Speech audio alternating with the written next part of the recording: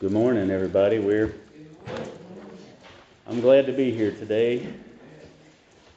It's a blessing to be able to get up here and just talk about God. It's that's a, an amazing thing that, that we can do. It's it's something we should be thankful for. Um, we're in page uh, we're on page 60 in the book. Um, this is uh, more uh, verses from Daniel. And uh, the, this lesson is going to be about, about prayer, which our last lesson was also made points about prayer. Prayer being uh, a gift from God, the ability to go to God, even being sinful and, and being uh, separated from Him by sin, you can't go to Him in prayer because Jesus Christ will mediate for us and, and will bridge that gap. He is, he is the door, He is the way, and He is the way for us to access the Father and the immense power of God just through prayer. But, you know, prayer is not just um, rituals, prayer is not just saying certain words, it's not a, a formula or anything like that. What prayer is a, a devotional communication with God. And we see that here in, in uh, these uh, verses that we're in in Daniel how Daniel prays. And we're, we're, we're also so um, lucky to have, blessed to have, verses in the Bible that are sample prayers for us. You know, Jesus gives us a sample prayer. He says, pray in this manner. He doesn't say pray this prayer, he says in this manner. And we have this also in Daniel. If we pray in this manner for ourselves, we'll be doing pretty well. So we're going to look at the verses of Daniel's prayer here for Judah and Israel. We're starting in uh, Daniel chapter 9, in verse 3. And the setting is um, still in Babylon. And our, our lesson is confess wholeheartedly. Confession and repentance keep us close to God. Now, the, the nations uh, of God, the Israel and, and Judah, the people have been captured. They're in captivity still in Babylon. And uh, we're nearing the end of what would be. Um, the 70 years since it was pronounced in Jeremiah 25 that God was going to send a judgment on, on Israel and Judah that they were going to go into captivity. It was going to be about 70 years, right? And that's in Jeremiah 25 11. It says, And this whole land shall be a desolation and an astonishment. These nations shall serve the king of Babylon 70 years. And it shall come to pass when 70 years are accomplished that I will punish the king of Babylon and that nation, saith the Lord. So we have here a promise from God that uh, there will be a response to sin, right, in this situation. And there will be a response to sin. But every time that we see, from the Old Testament to the New, where God is, is making his justice known, I will put justice down. And God is a God of justice. He's the God of justice. He will see justice done. But we see every time that God's justice is is mentioned, also, we see something just as powerful that is his mercy. And his mercy goes right alongside his justice. And that's what he's saying in those two verses there is that there will be justice, there will also be mercy. And it's the same for us today. There will be justice if you do not come to God and believe in Jesus Christ. But the fact that we can do that is mercy, is a way to escape the justice that we deserve. So Daniel is praying for the release from captivity in Babylon You'll notice that Daniel does not set, sit back on his heels. You know, if you were counting the years down, you've got about two years before the 70 years would be up if you were just counting the years down, right? Now, Daniel does not just say, well, it's just two years. Let's just sit back and wait, right? Because this is not what God pronounces. When God makes a pronouncement like this, 70 years, you look and see what he says is that in 70 years, if you come back to me and you pray that, that I come and help you and, and take you out of bondage, then I will. Right? And, and all of God's pronouncements are like this because our God's a God of invitation. We have to participate in the things that He promises or else they don't come to pass. Because all of them are, I will do this for you if you ask me to do it. If you do this, uh, you know, first. And, and God's always giving us more than we give to Him, right? Just to go, just to go down in prayer on a knee and have access to all the immense power that God can bring to bear for our, for our problems, for our salvation, for anything that we need, is, is an incredible imbalance, right? The, the things that I must do to, to access the power of God, it's not much at all, really, compared to the things we do in daily life, all the things we concentrate on day by day. It doesn't, it doesn't even compare. But notice Daniel, when he prays, he prays for the glory of God above all. Even above his needs, the needs of his people, he prays that God be glorified. And his main prayer is a humble prayer. It's a prayer of praise to God. And we have this prayer to help us understand what that, that kind of prayer looks like. So before we get into these verses, let's pray and we'll, we'll continue, okay? Lord God, we're so thankful for this day. We're so thankful that we can gather together to read and study your word. And I pray, Father, that uh, whatever is said here today will be something that someone needs to hear to, to uh, educate, to enlighten, and to uplift, or to, to bring them up out of uh, the bondage of sin, Father. And I ask that you will just uh, have thy Holy Spirit among us today and, and to be our teacher. And whatever we say here, whatever we do here today, let it glorify you. We ask all this in Jesus' name. Amen. So let's look at the first verses here. We're in Daniel chapter 9. We'll start in verse 3. And this is after Daniel has been, has been studying the, the prophecies about the bondage. When he goes to the Lord in prayer, he says in verse 3 And I set my face unto the Lord God to seek by prayer and supplications with fasting and sackcloth, sackcloth and ashes and I prayed unto the Lord my God and made my confession and said, O Lord, the great and dreadful God, keeping the covenant and mercy to them that love him and to them that keep his commandments, we have sinned and have committed iniquity and have done wickedly and have rebelled, even by departing from thy precepts and from thy judgments. Neither have we hearkened unto thy servants the prophets, which spake in thy name to our kings, our princes, and our fathers, and to all the people of the land. So if you look in verse 3, we see that, the, that there's uh, Daniel is making a realization here that uh, about the face of God, and we see this throughout the Bible. Facing God, being, being, uh, seeing God's face, and also having His face turned away from us. This is a theme that goes throughout because this is something that that is important to us. When Daniel says, I set my face unto the Lord God, that means he's, he's turning his will toward the things of God. He's turning his will toward God's. He's making himself subservient to God. And we see there, then, then he's earnestly wishes to seek God's face. And that means to do the things that God asks you to do, the things that he commands you to do. And Daniel seeks God's face the same way that, that you and I can today is through prayer, supplication, and repentance. Now, Daniel's commitment to seeking God in this way is, is very impressive because of the time that he's in, right? They're in a very um, trying time, the people that are in bondage, right? And uh, it would be tempting for them at this time to say, well, God abandoned us, so we abandon him, you know, and, and, and try to frame it in some way to give themselves an excuse. Daniel doesn't do that. He approaches God with humility and sincerity. He's got a repentant heart.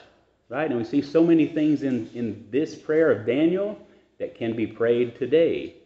And it's exactly the same. It, it has not changed because the God he's praying to has not changed.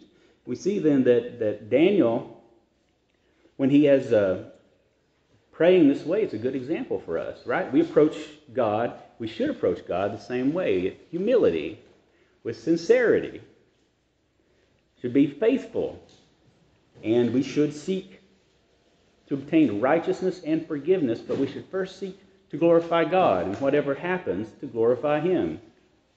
And we talk about seeking His face, doing the things that He asks, and seeking after God's righteousness and not man's righteousness, which always fails. God's righteousness does not fail. If you look in Psalm 27 8, this same, uh, this same construction is used. It says, When thou saidst, Seek my face, my heart said unto thee, Thy face, Lord, I will seek. Meaning, do the things that the Lord asks. And Matthew 6.33 says, But seek ye first the kingdom of God and his righteousness, and all these things shall be added unto you. So we can obtain righteousness by seeking it in Jesus Christ and in God. In James 4 8 says, Draw nigh to God, and he will draw nigh to you. Cleanse your hands, ye sinners, and purify your hearts, ye double minded. So we're talking about becoming closer to God through prayer, by, by expunging sins and, and making ourselves righteous, not by our own power, but by the power of Christ. So Daniel has a plea here for forgiveness of sins, yes, and for the restoration then of his people. You see the pattern that he's using glorify God, asks for forgiveness, then asks God for, he supplicates God for the things that he needs. It's a good order to go in. Right. He emphasizes the importance of repentance also and turning back to God. This is a confessional prayer where Daniel says, Yeah, I have sinned. Even my people have sinned. This is a prayer for all of his people, too. And, and the, the, at the very top here is a confession. We have turned away from God's face. God's face will never turn away from you. You will turn away from it by putting in between you and God sin. And God will not, will not uh, turn his face to you while you have sin on you. Daniel then he acknowledges the people's disobedience and he appeals for God's mercy in this prayer. And he, he talks about God's mercy, his faithfulness, and he talks about the covenant. Right? He says God will always keep his covenants. What does that mean? That means his promises, right? His promise to Abraham is what's being referenced here. But any any uh, promise that God makes, he will keep. Amen. We see that promises made over and over that those who have turned their way away from God, you can turn right back and just ask forgiveness of him if you're sincere about it. Look in Joel 2 and 12 says, Therefore also now, saith the Lord, turn ye even to me with all your heart, and with fasting, and with weeping, and with mourning, and rend your heart and not your garments. Turn unto the Lord your God, for he is gracious and merciful, slow to anger, and of great kindness, and repenteth him of the evil. Deuteronomy 7 9 says, Know therefore that the Lord thy God, he is God, the faithful God, which keepeth covenant and mercy with them that love him, and keep his commandments to a thousand generations. So our God is a God of mercy, a God who also keeps his promises. And God refers, or Daniel refers to God as, um, in verse 4 there, as great and dreadful. And that is reverence and awe to God. Acknowledgement of God's immense power and holiness, right? Uh, dreadful is something that we have sort of changed the meaning of the words today, but dreadful just means worthy of awe. It's the same as fearing God. It means to Give God the respect that he deserves, the respect that he is due, and the glory that he is due. Acknowledge his power, acknowledge his holiness. We see that in Psalm 111 9. He sent redemption unto his people. He hath commanded his covenant forever. Holy and reverend is his name. Talking about the nature of God. And Nehemiah 1:5 goes further and says this, And I said, I beseech thee, O Lord God of heaven, the great and terrible God, that keepeth covenant and mercy for them that love him and observe his commandments. So, what, uh, what is the, the, one of the greatest things that makes God so great to us is that he does keep his, keep his promises, right? But also that he is merciful. And this is what Daniel is talking about here. God has faithfulness toward his promises, he has mercy to those who obey him. And we give thanks to him for that because his mercy is so powerful, as mercy is such a defining characteristic of God. You cannot separate God from mercy. Mercy flows out of him. You see in Psalm 136 1 says, Give thanks unto the Lord, for he is good, for his mercy endureth forever. Right? So we know that God goes on forever. We see here then mercy goes on forever. So they go on together because he is one and the same. He is mercy. And we wouldn't know what mercy is without him.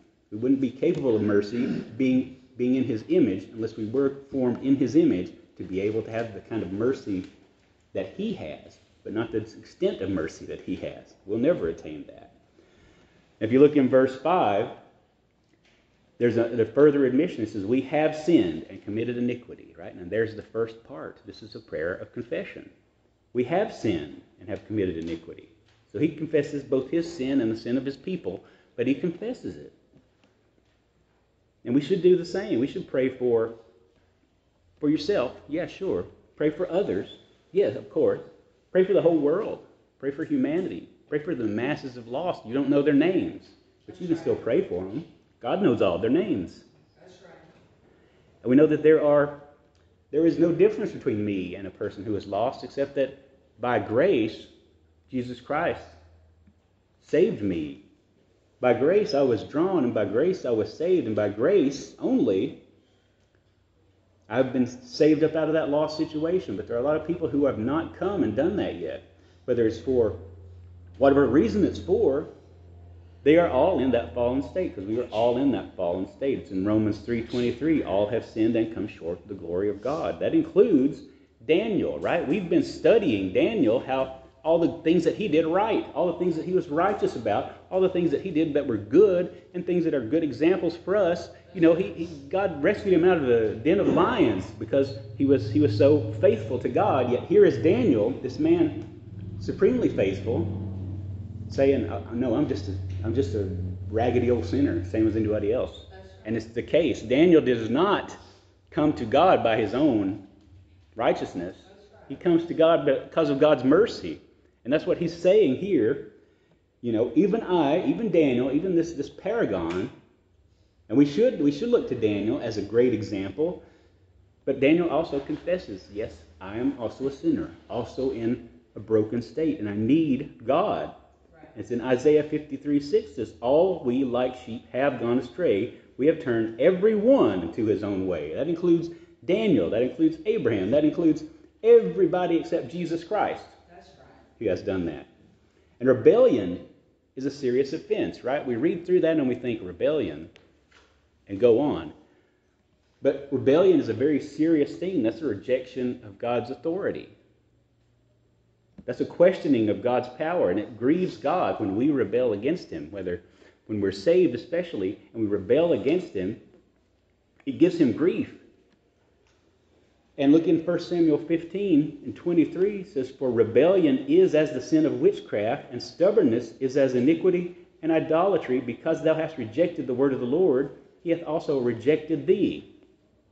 So we see here there's an equivalent being made in 1 Samuel there. Rebellion, witchcraft, being stubborn and mean to people, all the same thing, right? And we, we tend to we tend to try to avoid witchcraft, don't we? We avoid being mean and, and, and nasty to people, don't we? But do we avoid rebelling from God and not doing His commandments and, and, and day by day following Him?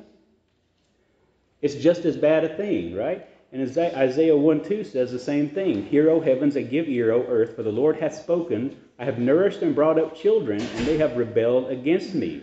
For those of you who have kids, you know, when they rebel against you, if they rebel against you, it can cause you a lot of heartache, can it? But you don't stop loving them, but they can rebel and it can cause you pain. You get a little bit, a very tiny bit of what God feels when we rebel against Him as His children. Then, uh, when you look at verse 6 there, at the end of this, uh, this part, it says, Neither have we hearkened unto thy servants the prophets, which spake in thy name to our kings, our princes, and our fathers, and to all the people of the land. So Daniel admits, for the people, we have not listened to God's word. We haven't listened to what God has had to say, and God's word is delivered through his prophets. And the prophets spoke the voice of God to the people. And, and being God's word God from God Himself, it should have been obeyed, right? We have that today. We have the words from prophets. We have the words from holy men of God to instruct us. These are words from God, inspired by the Holy Spirit and given to us from God. So we, like Daniel was talking about for Judah, we have no excuse. We have no excuse to say, well, I didn't know. I mean, look how look how thick it is, all of this instruction we have. Right? And mine's not even the big margin or the, the giant text. But when we, we have all of this as a gift from God, and we're talking about this, um, Daniel is highlighting for us the importance of listening to God, listening to His Word, right? Not only when we are drawn by God and we become child of God, we don't stop listening to God and doing His will. That's when we actually start doing it in earnest. And the, you see in Luke 11 28 says, uh, He said, Yea, rather blessed are they that hear the word of God and keep it. Right? Notice there are two parts hear it and keep it. Hearing it will do you some good, but if you don't do it, it's pretty hollow, right? It's a clanging cymbal, Paul said. It's just noise. And James 1.22 says, Be ye doers of the word, and not hearers only, deceiving your own selves. So if we hear what is right, or if we read what is right, but we don't do it, we reject God's power and his, his authority by not doing it, just sitting and listening and forgetting it the next day, or reading through it and not studying it and just, you know, trying to power through. I was talking to somebody the other day, like, trying to power through the Bible and just say I read it all. That doesn't do you any good. You got to read and study it. And however long it takes you is how long it takes you, as long as you're studying it in earnest. And that's what it is to be a hearer and a doer. That you hear the word or you read the word and you do what it says, not just read it. And they have then Daniel is talking about how the people of Israel they ignored the prophets. And this, these are people sent from God, sent to them. And you see in 2 Chronicles 36, 16 says, they mocked the messengers of God and despised his words and misused his prophets until the wrath of the Lord arose against his people, till there was no remedy. Part of the situation that they're in, and a lot of the situations we'll get in, they didn't listen to God. They didn't trust God. They didn't do the things that God wanted them to do. And that is laid out clearly for us, right? And it was laid out clearly for them through the prophets they had living prophets to come to and say, well, Can you tell me again what God said? And the prophet would be able to tell them. They still didn't do it. In fact, it says they mocked the prophets, they killed the prophets, they persecuted the prophets. And Jeremiah 25, 4 says, And the Lord hath sent unto you all his servants the prophets, rising early and sending them, but you have not hearkened, nor inclined your ear to hear. Talks about all the work of people that people had done to bring the word of God to these people and all the work and persecution that has gone into making this written word of God for us is something we should respect also. That a lot of a lot of hardship and trials, deaths to bring this to us today. And this this is not something we should forget. And that's why disobedience and ignorance of the messages that we have from God through the prophets, through the Bible, it leads to consequences, big consequences that we bring on ourselves. The disastrous results of not listening to God. If you look in Proverbs 124, God talks about this. He says, Because I have called and you refused, I have stretched out my hand and no man regarded, but ye have set it not all my counsel and would none of my reproof. Now, this could be talking about you know you and I when we just don't do the things that God needs us to do, that God desires us to do, the things that God commands us to do, we can suffer consequences, right? right. We're told that, that God's a loving Father, and so He will uh, He will uh, punish you if, if you're a child, that's what a loving father does, is teaches and chastises a child until they do right, to teach them what is right. But we see also here that this is this is God is saying exactly then what he says now to the lost person. Hey, you have mocked the people that brought you the gospel. You have despised the words of the gospel and not listened. You have misused people that have brought you the gospel. But now the wrath of the Lord will be against you, and there will be no remedy for you. Because in the gospel is where you, you hear about Jesus Christ. You hear about God's mercy. And if you ignore God's mercy, you cannot escape his justice and his wrath.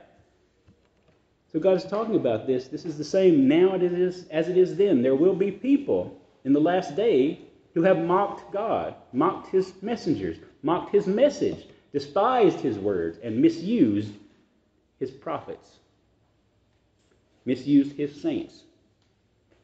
And the wrath of the Lord will be against them. And God says there that there will be no remedy in that day. The remedy will have passed by. And Jeremiah 25, 4 again says this, And the Lord hath sent unto you all his servants the prophets, rising early and sending them. You have not hearkened, he says in Jeremiah. You have not hearkened. And this is God being, being grieved by this, that, that people had not listened. Israel, God has always said, you know, Israel, uh, he, he tried and tried to, to work, work with Israel, to, to make Israel a great nation, but they always will turn aside. They always will turn aside to idolatry. They always turn aside to, to their own uh, selfish desires. And God says, well, then if, if you turn away from me, where all good things come from, you're going to go into a lot of bad things. So disobedience and ignorance of these divine messages, divine messages lead to dire consequences, right? And And when, when you're reading and studying your Bible here, remember, this is a divine message, an expression from God, right? And when we say an expression from God, right, this is, this is the God who sits on high. This is the God who created all things. This is God who controls all things, in whose hand thy breath is, they said in that last lesson that I taught to um, Belshazzar. This is from him. So, how can we not give it the authority, the, the honor it deserves, and follow the things that it says? But we don't. Yeah.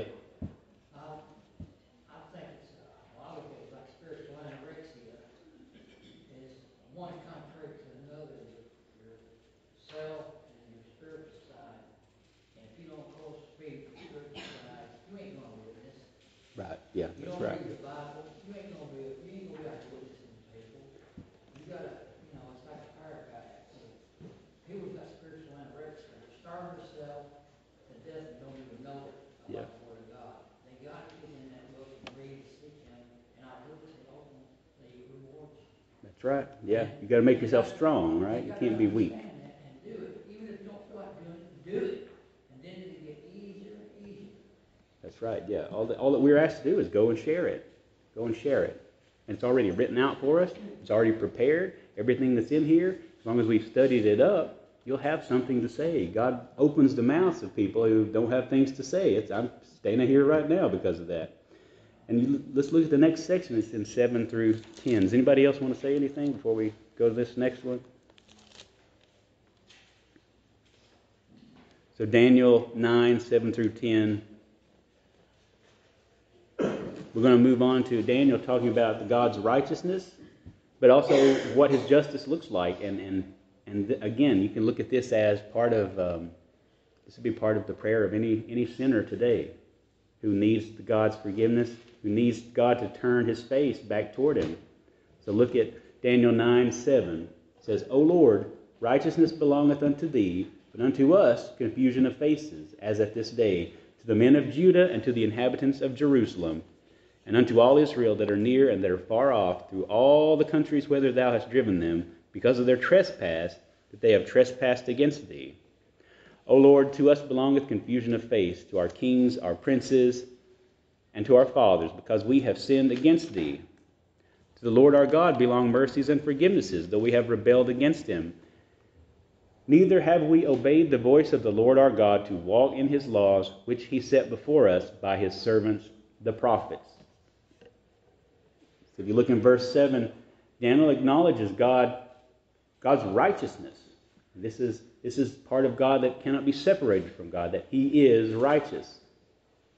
And we see that throughout. Psalm 116.5, gracious is the Lord and righteous. Psalm 145.17, the Lord is righteous in all his ways and holy in all his works. Righteousness is something that is recognized throughout the Bible. This is what God is. He is Amen. righteousness. And this is why we seek him, because we should seek righteousness, because the fruits of righteousness are good things for us spiritually. And when we are without that, we are hungry for righteousness. We're, we're starving. We're anorexic, like Brother Jeff was saying. So shame and confusion that the Israelites are experiencing right now, he acknowledges this is because of disobedience. And he says the, the, the confusion of faces that, that, that we deserve, right? And the, that is the wages of sin is this confusion, is death, is, is not knowing what to do day by day, not having any compass, any spiritual compass in the world. And uh, Jeremiah 3.25 talks about this too. We lie down in our shame, and our confusion covereth us, for we have sinned against the Lord our God. That is where the confusion comes from. It's when we, when we do not trust God, when we do not do the things that God commands, there'll be confusion. You'll be confused. You won't know what to do. You won't know where to go. And the consequences then of this are, uh, are dire because this is one of the things that where we see this word trespass, right? Trespass against thee, he says, talking about trespass against God, and that is that that is sin. A trespass against God is sin, not doing the things of God. And when when God Daniel confesses this, he's confessing sins to the people of Israel. That includes its leaders, its ancestors, all of all of the fathers. None of them were perfect. And he says in Isaiah 59 2, But your iniquities have separated between you and your God, and your sins have hid his face from you, that he will not hear. And I think that verse especially goes good with this because it does lay it right out uh, in exactly the way that it happens. Your iniquities have separated you from God. Right. Right? And it will be in the last day, God is not going to throw anybody out except people who have willingly divided themselves from him through sin and not sought the redemption that he offers through Jesus Christ. That will be how you go into the lake of fire, is that you, you, you refuse to, to be joined to God. You let that separation remain. And that is everybody. There is nobody that is perfect. You see in Romans 3.23, we know this, for all have sinned and come short. And James 4.17 talks about sin as well in that same way. Therefore, to him that knoweth to do good and doeth it not, to him it is sin. And how do we know to do good? We listen to the prophets and we, listen, we read the Word of God. That's how you know what is good. And that's how you know what you got to do. What is, a, what is a violation of that? So that's in uh, verse 8, the confusion of face. And he talks about, this is interesting, he talks about uh, forgiveness and coming to God and, and admitting, confessing not just his own sins, but that he is in a, in a nation that is sinful. That he is in a, in a world that is sinful, and that he is among a people that have, been, that have sinned against God and earned his wrath. You can do that today. If you, if you uh, understand that, that your nation is a sinful nation and is being uh, judged by God, you can pray for your nation. In fact, you've got to pray for your nation. That God will lift us up out of, of whatever problems that we're in. Daniel recognizes that it all comes from sins that have been committed by God, by, by individuals, and by na- the nation itself. A nation can sin against God, and God will punish that nation, bring judgment upon that nation. If you look in verse 9, he turns back and talks about, goes from, from talking about the nature of man, unrighteous, not willing to listen, to the nature of God again, mercy and forgiveness, although we have rebelled. There's a rebellion again. So, what do we do then when we're in this, this simple rebellious condition? We realize then that mercy belongs to the Lord, that He shows His loving kindness even despite rebellion, right? If we rebelled against God and He executed His wrath and justice upon all of us, and that was it, he's perfectly justified in doing that. Right? But the nature of God is mercy. So God is not satisfied with that. God gives us a way out, gives us the door, gives us the way to life. And it's in Psalm 103 8, the Lord is merciful and gracious, slow to anger, and plenteous in mercy. So you see again, mercy is part of him. Mercy is God. God is mercy. In Lamentations 3:22 says, "It is of the Lord's mercies that we are not consumed, because his compassions fail not. They are new every morning. Great is thy faithfulness." It is the Lord's mercy that we are not consumed. Right? We would be consumed, wouldn't we, without the mercy of God expressed through Jesus Christ on coming to earth. We would be consumed in the lake of fire with all the others who, who refuse him but that's not the nature of God. God gives us a way because He is forgiving. And that's how He proves His greatness. That's how He manifests His greatness on the world, is through His mercy. His willingness to pardon sins, even for, even for those who do the very worst things we can think of. You can repent to God, and He will forgive it. And that's why He deserves such worship and praise and faith and love, is because we can be saved because He is merciful. You look in Psalm 134, it says, but there is forgiveness with thee that thou mayest be feared. So that is why God is great. This is why we fear him. Not because we fear that he's going to, you know, sweep us away, but because he is so merciful, powerful, and loving that we're, we're in awe of it, right? It's amazing. And he is faithful and just to forgive sins and cleanse us from all unrighteousness in 1 John 1 and 9. But despite God's mercy and forgiveness, Daniel here, he's saying that, that I've got to acknowledge that we have first first acknowledge that we have rebelled and sinned, right? We can't ask forgiveness if we do not first confess and, and realize I'm in a sinful state and I need help. This is the conviction of the lost person. I'm in a sinful state. There's, there's something wrong and I need help. And Daniel acknowledges this. And he has a call then at the end to return to God in verse 9. He acknowledges God's mercy and God's forgiveness, even in the face of rebellion. And God is willing, God promises that if we do that, if we do repent, that He will listen. You look in Acts 3.19, it says, Repent ye therefore and be converted, that your sins may be blotted out. And the times of refreshing shall come from the presence of the Lord. So where does this where does this blotting out of sin come from? From the presence of the Lord. It doesn't come from anywhere else.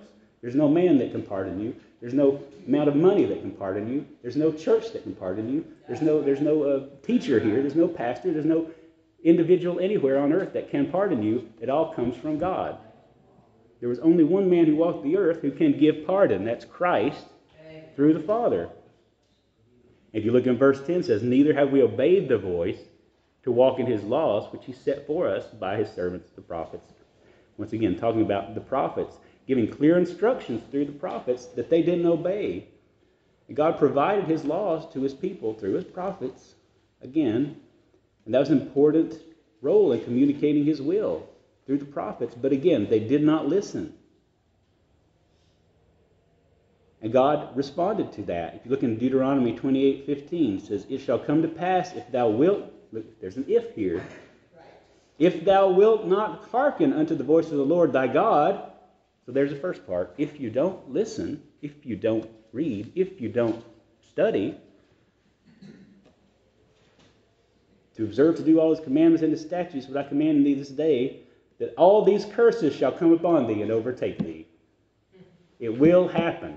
This is the nature of God's promise.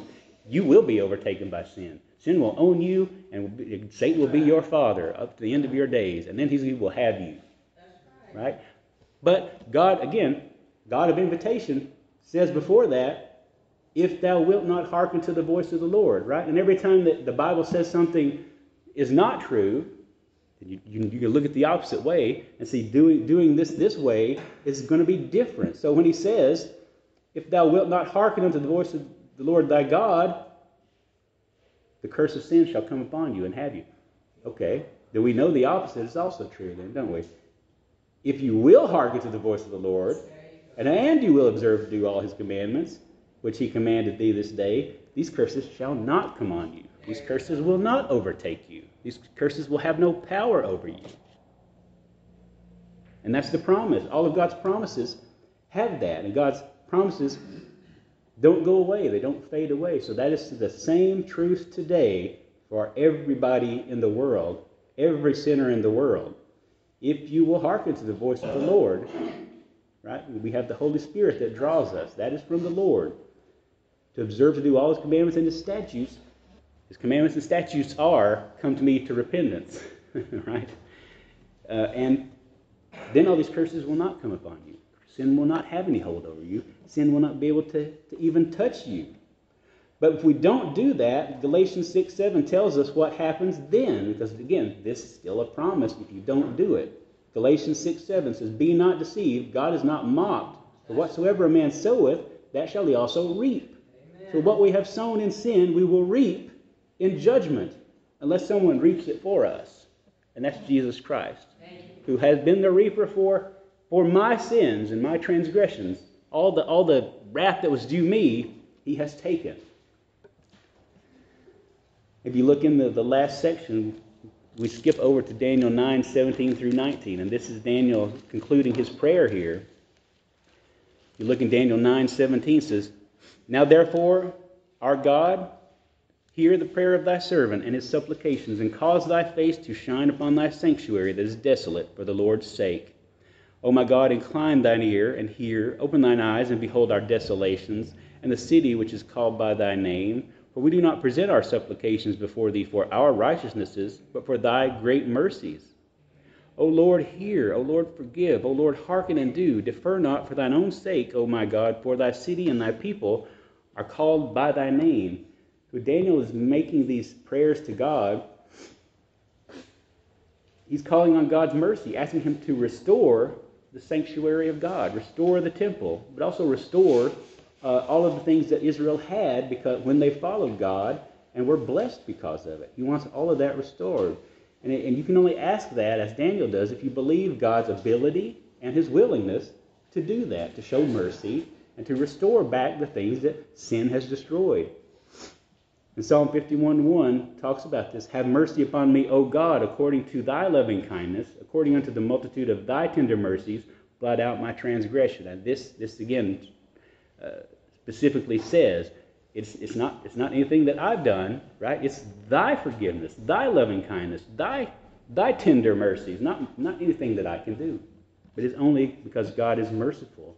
And the sanctuary he's referring to, of course, the temple, which was desolate at this time. Remember, we talked about how Belshazzar had taken all the holy relics and had a, had a, a party and consecrated them to these idols. And it was a great crime because when the temple is restored, these things are going to go back to it. That's what God has, has uh, told us is going to happen and told the Israelites was going to happen. And it does happen. And the plea for the righteousness is, is not for our sake. It's not because we can do anything about it. He says, for the Lord's sake. Because this is, this is what you are, he's saying to God. This is, we understand this is what you are. This is how you work. We see your promises and we believe this is our God and what he is. And it says in Ezekiel, Ezekiel 36, 22, Therefore say unto the house of Israel, Thus saith the Lord God, I do not this for your sakes, O house of Israel, but for mine holy name's sake, which ye have profaned among the heathen, whither you went. So God does things, He does them for His glory and for our good, and they go together. Because things that glorify God, they, they lift us up. And 1 John 2.12 says it again, I write unto you, little children, because your sins are forgiven you for his name's sake. For when you see for his sake, for his name's sake, it means because of who he is. That's what they're saying in these verses. Because of who you are, God, your name's sake, all of this can happen. Because of your mercies, all this can happen. Because you are so kind, forgiving, and just, all of this can happen. In verse 18, Daniel is calling on God, hear and see the plight of the people. And he acknowledges then something else that is wonderful that God is attentive to the prayers of his people. God listens.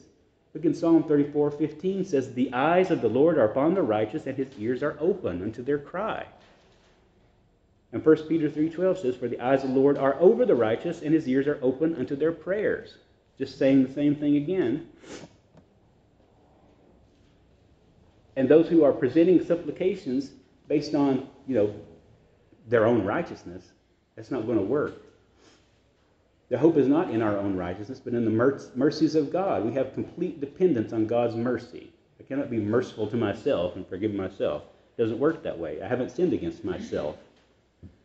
But Daniel mentions the city called by God's name, and that's Jerusalem. And that's, that's because he understands the significance of Jerusalem. It's linked to God's reputation among the pagan peoples. What Jerusalem does, people are watching. It's the same for you and me. What the church does, people are watching. What you do as a, as a child of God, people are watching. And Jerusalem is a Hebrew word. It, it comes from yireh, which is God provides, and shalom or shalom, which means peace. God provides peace is the name of his holy city. That's why Daniel says it's your name, because God provides peace is who you are. And he's right. Finally, verse 19, Daniel, he, he does a plea for God to hear, hear this prayer and forgive and appeal to God to listen and to respond. Right now, Daniel does not prescribe how God will respond. He just asks God, respond. That's a good lesson for us.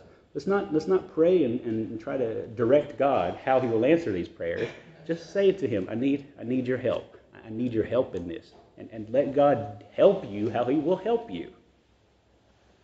And if you look at finally at, the, at, at all of this that Daniel does, we see an answer to a question how does God answer a prayer of a humble person?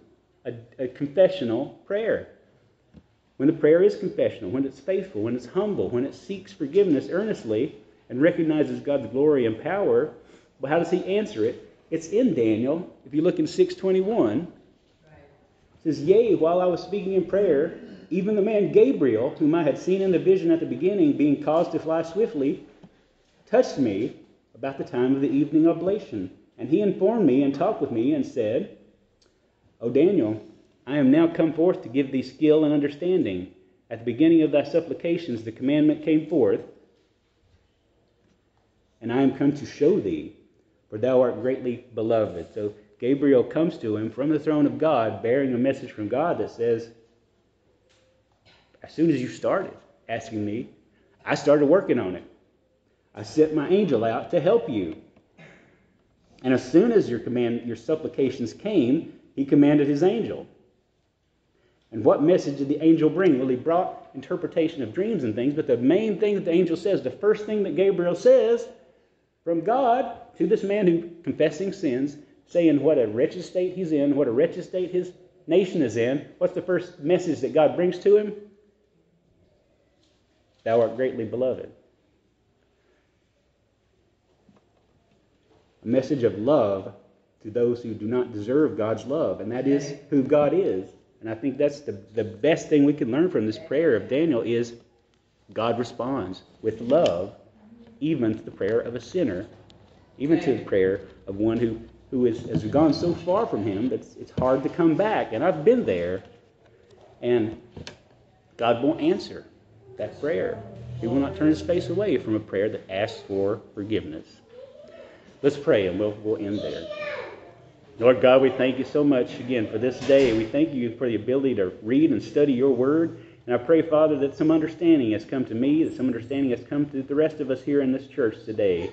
We ask, Father, for your blessing upon the rest of the service. We ask for your blessing upon Brother Bill as you keep him uplifted and strong and inspired to, to preach your word, exactly the word that we need to hear. We ask, Father, that you will uplift also our, our song leaders so that we can praise you in song as you so richly deserve. And as we leave today, I hope that we can all just celebrate being able to come before you in your house, to be able to pray to you day by day for whatever we need, and to understand, Father, that, that we have nothing by our right. All that we have comes from your grace and flows out from your throne. We ask all this in Jesus' holy name. Amen.